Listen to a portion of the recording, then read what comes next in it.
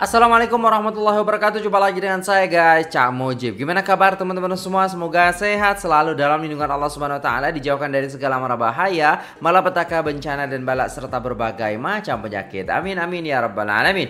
Oke guys di sini ada sebuah requestan daripada teman-teman sekalian. Ya banyak sekali yang request di Instagram nih teman-teman sekalian.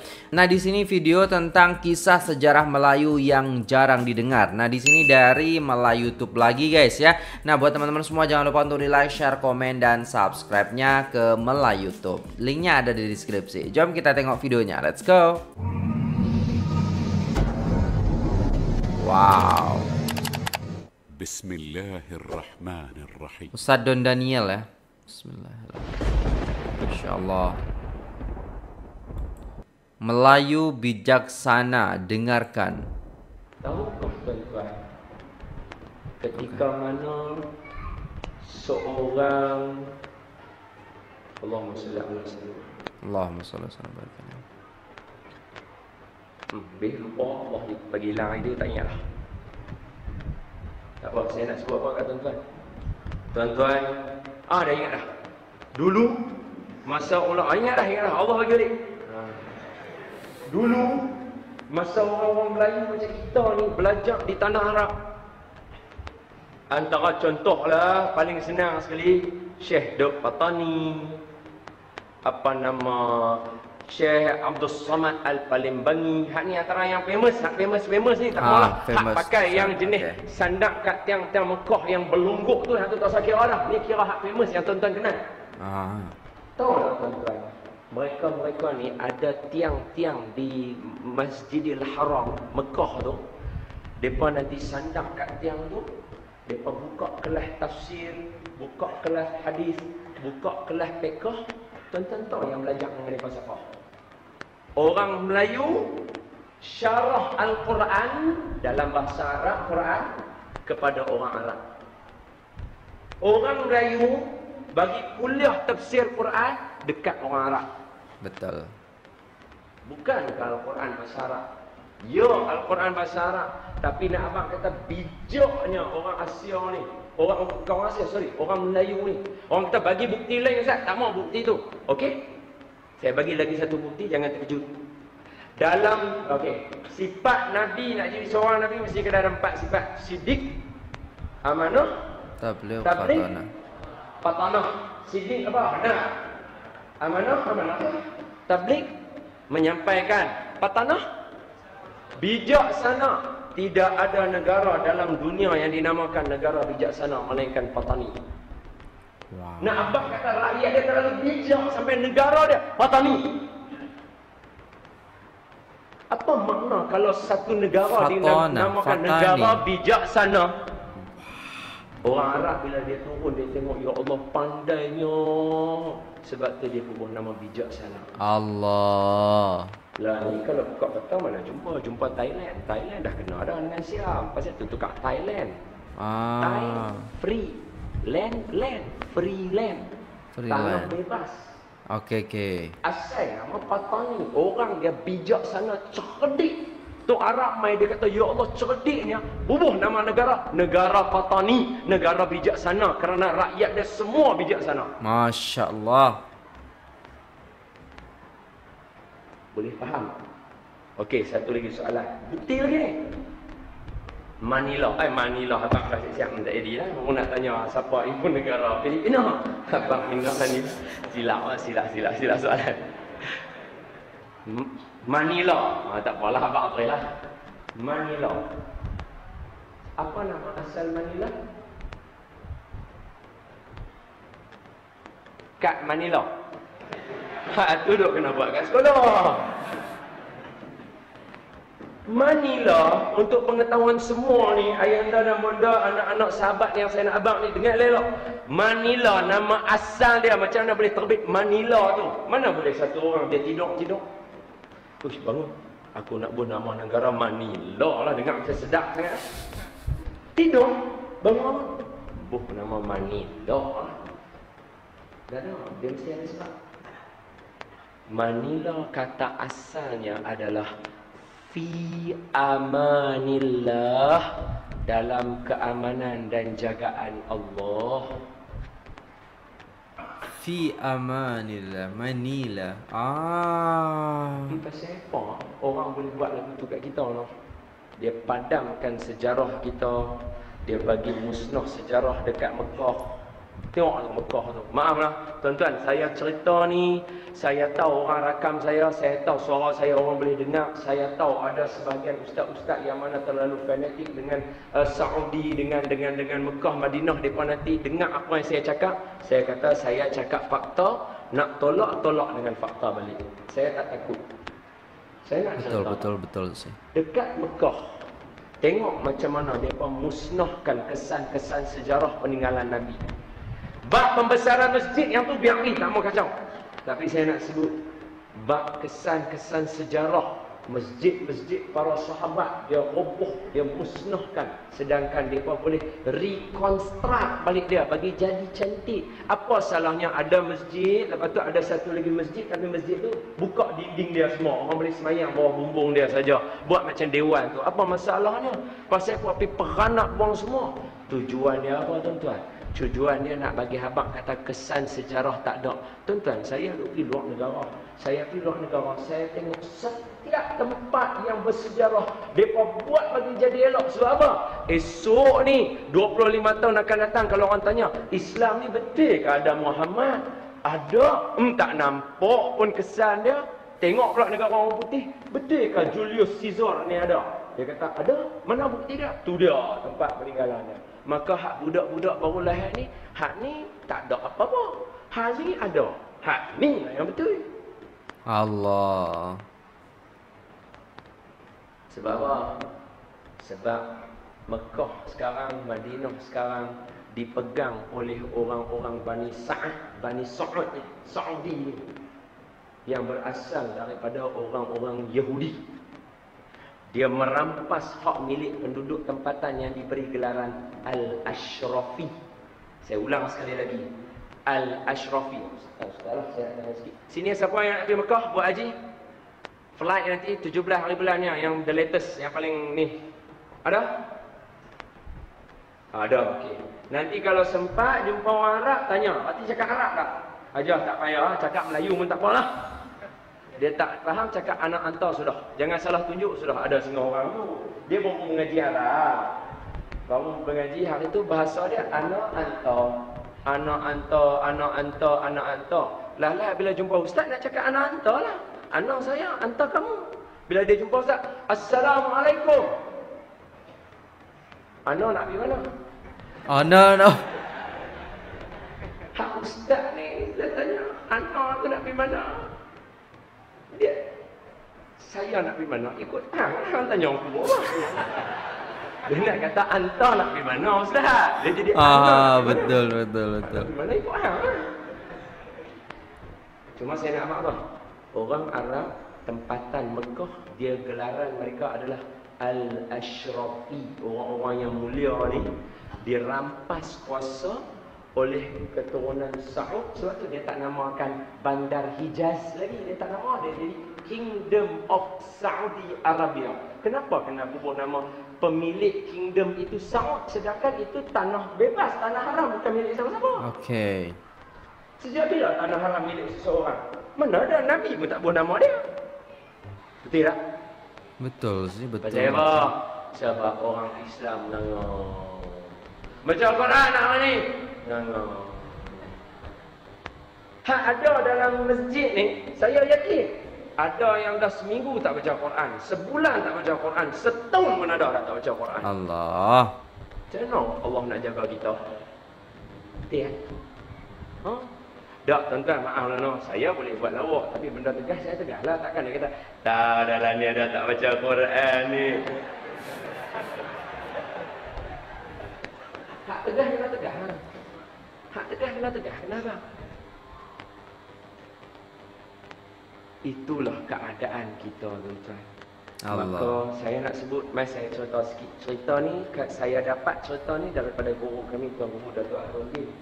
Masa tu kami pergi ziarah Datuk Harundin Biasalah ustaz-ustaz muda ni Dia tak boleh pijau sangat Tadi saya jumpa Haji pun Haji peringat dia kat saya Kata ustaz ingat Jangan lupa asal usul kita Jangan lupa Tang mana kita mengaji Kena ingat Saya kata insyaAllah saya tak lupa Kita kena pergi mengaji Kita kena pergi belajar Saya balik asbab tu pun Balik ni pun saya Ada apa nama Islimah ulama padang lalang. Mai nak pergi dengar kuliah juga Nak duduk Hantar isteri saya balik rumah mak dia Nak pergi nak masjid juga. Nak pergi mengaji. Ilmu tak ada. Saya nak cakap kat tuan-tuan kata apa lupa kita tak mana tak ada skrip lupa. Tak mahu apa ni nak cakap. Apa dia Kingdom of Arabia Ah ya cantik Terima kasih Hang bijak Wih, keren. Cerita ni saya dapat masa saya ziarah Tuan Guru Datuk Arun bila kita pergi nak minta nasihat, nak minta supaya dia tegur kita kot ada salah silap tak kena tahu mana-mana, kita minta lah dia nasihat kita. Jadi bila kita masuk tu, Tuan Guru, Datuk Arun sambut kita dekat pintu masuk. Dia kata, mana mana masuk, masuk. Salam-salam, cium-cium dia semua habis. Masuk. Bila masuk, masuk, dia jalan dulu lah, dia tunjuk jalan. Jadi dia duduk kat sofa tengah-tengah budak-budak kan seorang ustaz-ustaz lain. Imam muda pun ada. Ustaz Syed Abdul Qadir Al-Jufri pun ada. Ustaz Syed Nur Syam Tuan Padang pun ada. Semua ada. Man, masuk masuk masuk masuk. Tu saya masuk last sekali. Ustaz Don. Ustaz Don. Duduk sebelah saya. Saya duduk sebelah tunggu. Mana dia cerita ni saya dapat masa saya tengok bibi ada masa dia cerita. Memang sebelah dia. Dia cerita sambil dia pegang paha dia. Jadi saya cerita benda ni sebab dia suruh saya bagi tahu kat semua orang. InsyaAllah saya sampaikan tak lari perkataan insya-Allah. Allah. Tuan-tuan. Tuan-tuan famous dengar. Tadi masa saya main saya main dengan Ustaz Saifudin saya kata, "Din, malam ni kalau ada orang jual CD aku nak cari Syekh apa nama Huzaifi." Saya kata dekat Ustaz Saifudin. Kalau ada orang jual CD kat luar mana Syekh Huzaifi simpan satu kat saya no. Sebab siap dia. Orang kata Syekh Huzaifi. Siapa dia? Orang Syekh Huzaifi. Lah ni orang pakai ada dengar Syekh hak paling top Syekh Masyari Rashid Al-Afasi. Lepas tu main Syekh Mahir Lepas tu Syekh Syekh Legend Syekh Sudais Syekh Suraim Syekh Sa'ad Sa'id Al-Ghamidi yeah. Muhammad Khalil Al-Husari.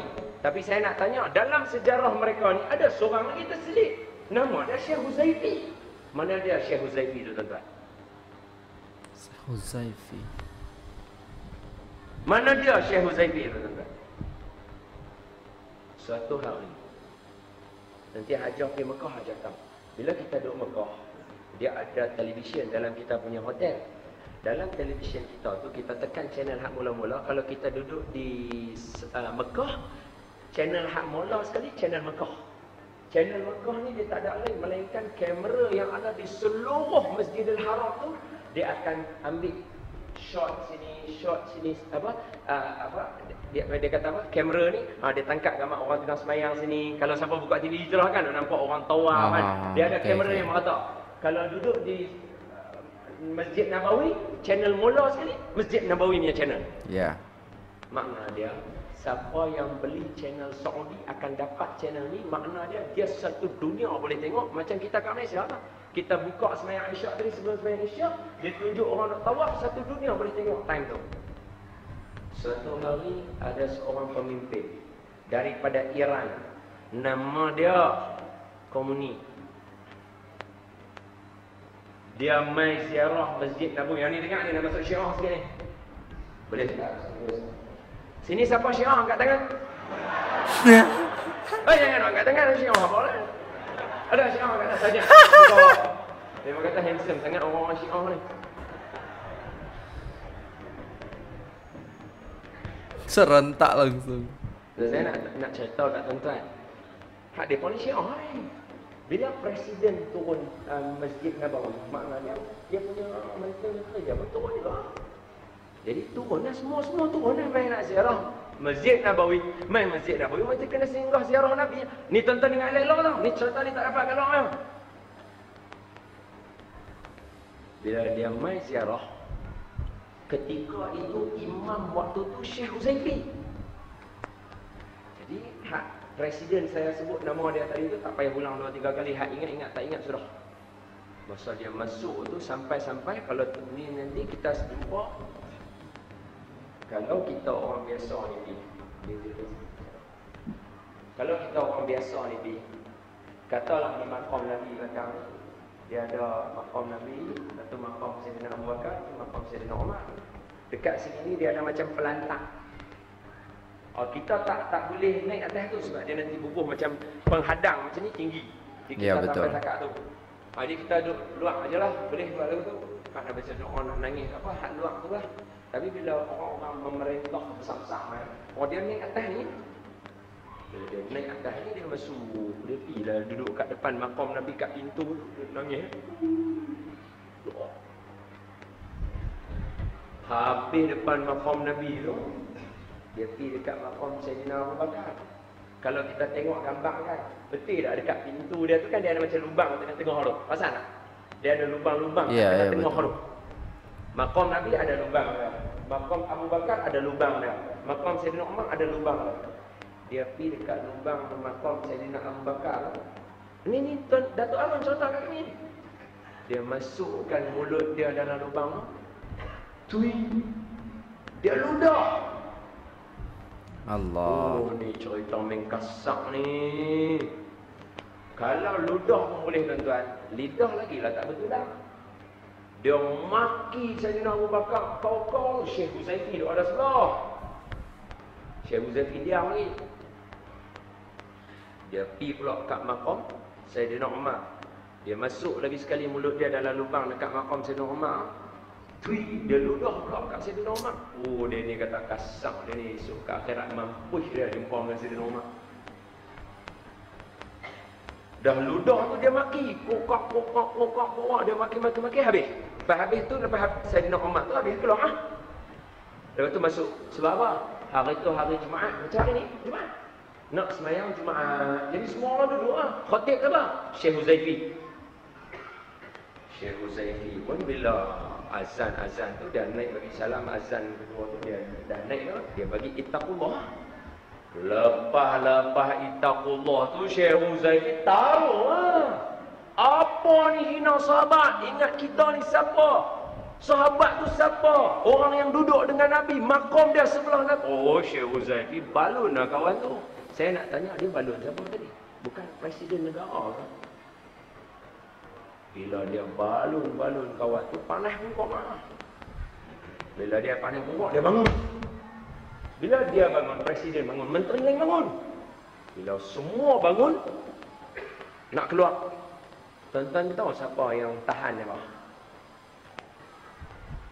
Yang tahan mereka adalah pembesar-pembesar Saudi. Dia pergi kat mereka, dia tahan mereka. Hak ni yang bangun ni bukan syiah. Cerita apa bangun. Garam garam. Pergi toilet, pergi toilet, toilet, toilet. Kata marah. Melawak no, tak no. Melawak. Ada je sadon, sadon. Melawak. Timing dah tepat. Masa kata kawan tu dia bangun. Silap lah. Allah Allah. melawak. Lepas tu dia bangun Ba- bila kata hak hak apa presiden Iran dengan dia punya menteri dia tu bangun pembesar-pembesar dah saya sebutlah lah, pembesar-pembesar Saudi bangun didapatkan mereka tadi ni cool down kan mereka suruh duduk dalam khutbah tadi tu duduk duduk juga duduk saya nak abang tuan-tuan jangan terkejut dah. Hak tadi perbuatan perbuatan dia tu kamera duk tangkap tuan tengok. Satu dunia duk tengok buatan tu dan semua orang tahu peristiwa ni. Allah. Tapi Saudi punya pemerintah tahan mereka suruh duduk bagi selesai buang khutbah habis khutbah sembahyang Jumaat lepas sembahyang Jumaat Syekh Huzaifi diberhentikan jadi imam selama tujuh tahun. Allahu akbar.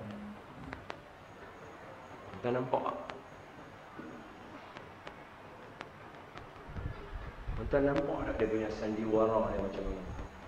Punya dahsyat. Sebab tu hadis Nabi kalau tuan-tuan buka hadis Nabi akhir zaman. Dajjal. Kan satu hadis Nabi berkaitan dengan Dajjal. Dajjal dia akan datang ke seluruh pelosok dunia. Seluruh pelosok dunia dia akan sampai kecuali dua tempat iaitu Mekah dan Madinah. Madinah. Ha, itu semua tahu. Dajjal dia punya fitnah dia, dia punya duk main, dia akan lalu semua tempat. Makna dia apa? Pengkalan tambang boleh sampai. Hmm. Ha. Makna dia dia akan sampai kat kita. Dia nanti main duk tang kita lah apa semua.